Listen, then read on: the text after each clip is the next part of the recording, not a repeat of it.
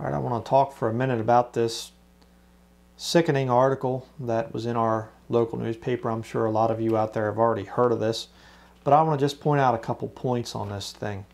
So let me show you about this.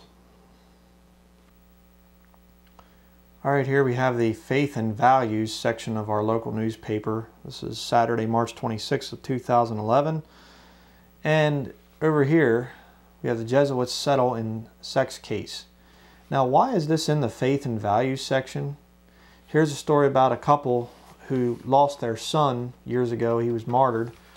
And over here you have the guy writing about the Westboro wackos, uh, which they shouldn't even be giving them people press, you know, whatever. Just ignore them, they'll go away. But why is this in the faith and values section? Okay, that's kind of weird. But I want to show you something here, which I'm, we're not going to go over the article. You can look it up online. But I just want to show you something here, just to show you that there are different rules for Catholics than there are for Christians. And yeah, I said that right. Catholics are not Christians. Attorney Blaine Tamaki said the priest who molested Vargas and about 100 other children, 100 children this, this pervert molested, has not been charged with a crime because the statute of limitations in Washington state is so restrictive. Molested 100 children and he was not charged with a crime. That's the power that the Jesuit order has. And it's interesting, they keep referring to the order, the order, the order, the order in there. Here's a, a uh, article from CNN Belief blog. Okay, Jesuits pay record one 166.1 million in child abuse case. Let me zoom in here. It says 470 people were sexually and psychologically abused as children by Jesuit priests from the 1940s to the 1990s. 470 people. But you say, why aren't these people talking? Well, I'm going to tell, tell about that later. But jump down here a little bit in the article. It says Jesuits are the largest order of Catholic priests and are considered the most educated in the priesthood as they run prestigious universities. And that's not just Catholic universities, they infiltrate Protestant, quote unquote, Protestant universities as well.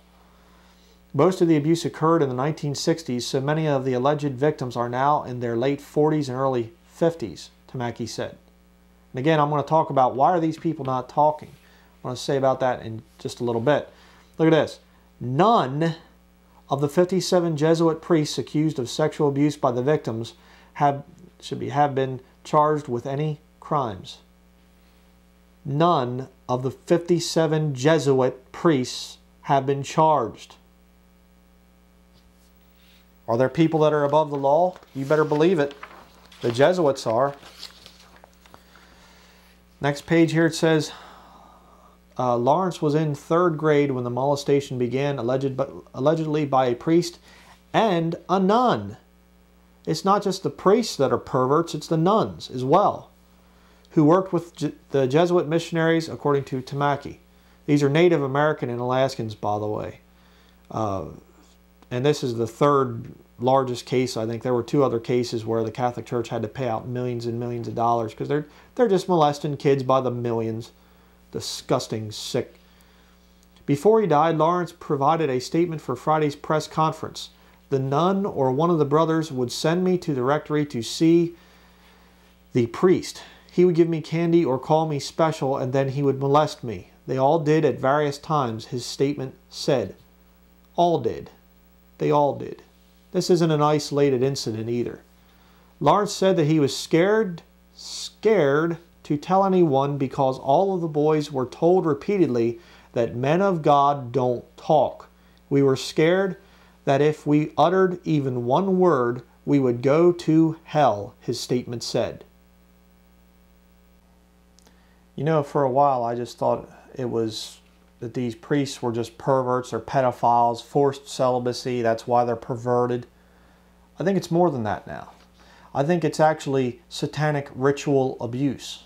I think these Jesuits and these Catholic priests are purposefully molesting children. Because you see, what does it create? What did the article say? What did it say here on CNN's website? you know, mainstream media. It said that the people were afraid. And it took some of them 40 or 50 years to come out and tell the truth. You see, the Catholic Church is about instilling fear in their people. That's what it's about. It's about you've committed a mortal sin, you've lost your salvation, you're excommunicated, you're damned to hell, you're anathema. That's the system of Roman Catholicism. It's a system of bondage, of fear. And what better way to scare someone than to molest them as a child and then to tell them, if you tell anybody about this, you're going to go to hell. And you take them, you put them into the confessional booth. First, you get some things on them that, they, that you can use so you can blackmail them. And then you take them in and you molest them and you say, if you tell anybody, you're going to go to hell. You know? But it gets even worse than that. I'm going to tell you why I believe it's true satanic ritual abuse. Let's look at a couple of these wicked Catholic catechisms. Now let me show you some of the wicked writings of these satanic devils. Here you have two catechisms basically for children. This one here is, you know, my first communion catechism. You give this to little kids. Okay, and this is the new St. Joseph Baltimore Catechism. This one is also designed for children. But let me show you here first what a good Catholic is taught about their priest. The priest takes Christ's place. Isn't that disgusting? And you say, well, that's just one catechism. We don't, you know, the Catholics, oh, we don't believe that. We don't believe that. Yes, you do. The ordained priest takes the place of Christ. There you go. The Holy Mass. Yeah, uh huh.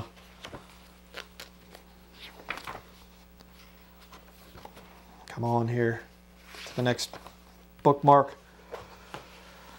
Christ our high priest in heaven, the priest on earth, another Christ. Interesting because Jesus Christ warned in Matthew 24 about men coming and saying, I am Christ, and deceiving many.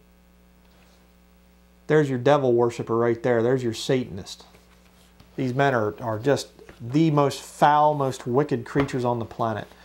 What we see, what we should think of. It's not really the priest up there, it's Jesus Christ himself. Isn't that disgusting? And by the way, think of how stupid this whole thing is really.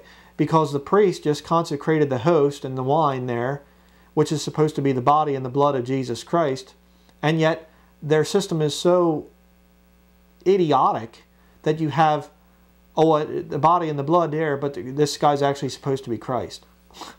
Doesn't even make sense.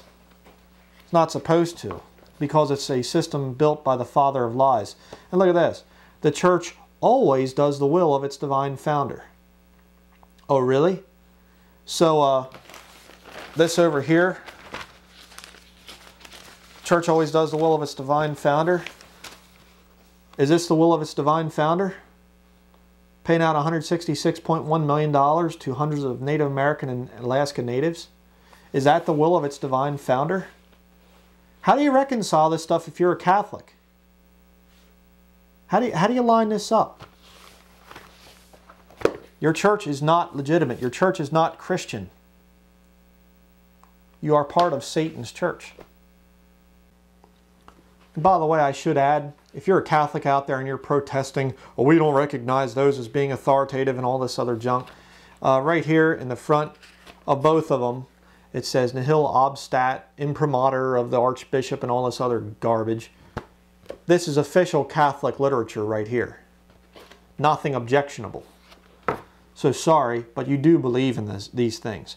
And by the way, it says here in the um, front of it that if you pray this prayer here, you'll have an indulgence of five years. Five years less time in purgatory.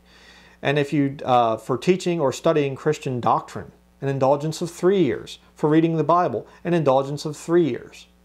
So you get the same for studying this garbage as you would for reading a Catholic Bible.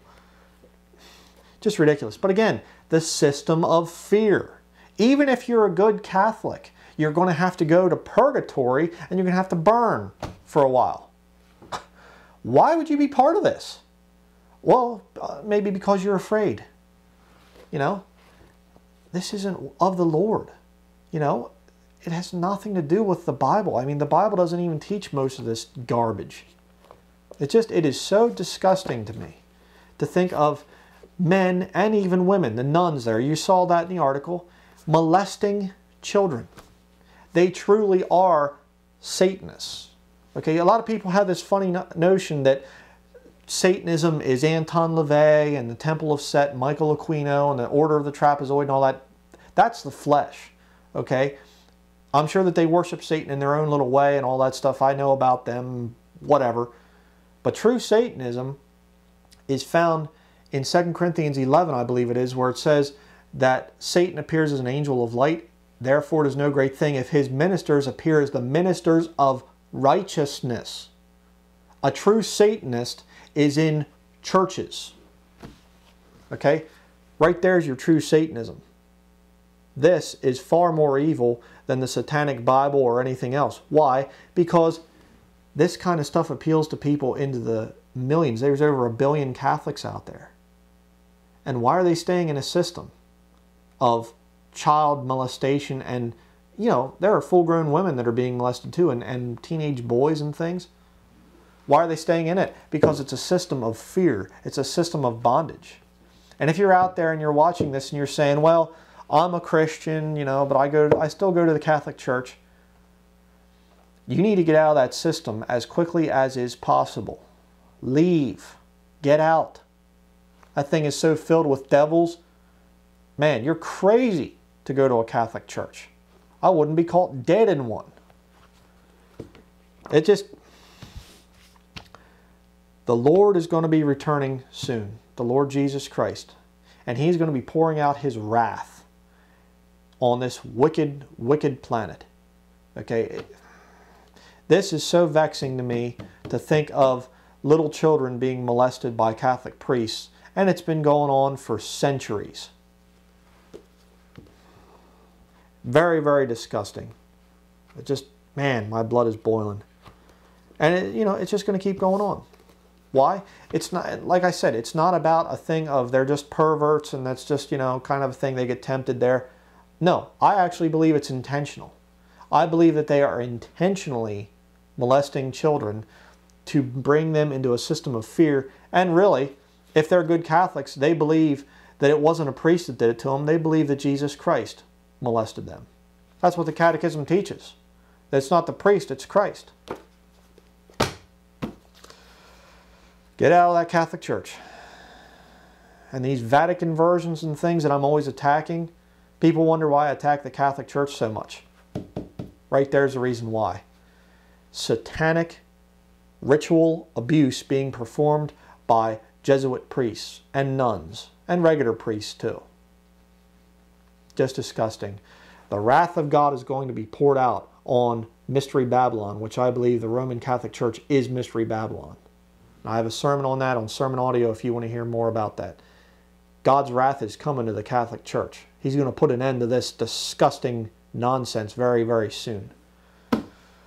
So, if you see anything Catholic, man, run away from it. Get away from it. Bad stuff.